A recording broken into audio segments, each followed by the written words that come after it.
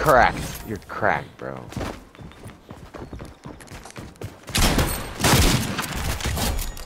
I don't know how I did that, but I gotta put that.